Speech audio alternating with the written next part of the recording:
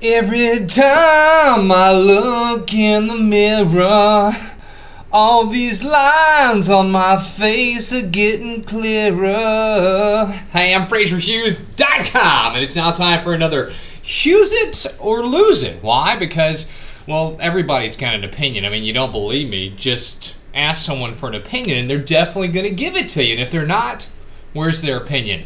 It's in the back of their mind somewhere, in a closet, and they've got it locked up. So I'm encouraging you to express yourself before you wreck yourself.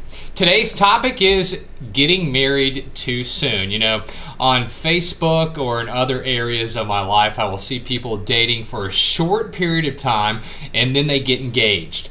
And the first thought that comes to my mind is, uh oh, it's kind of like a red flag goes up, or I hope this works you know, there is a small percentage of people that know right off the bat, I want to be with this person the rest of my life. But for the majority of us, and maybe this is why the divorce rate is so high, a lot of us jump the gun and we do not wait.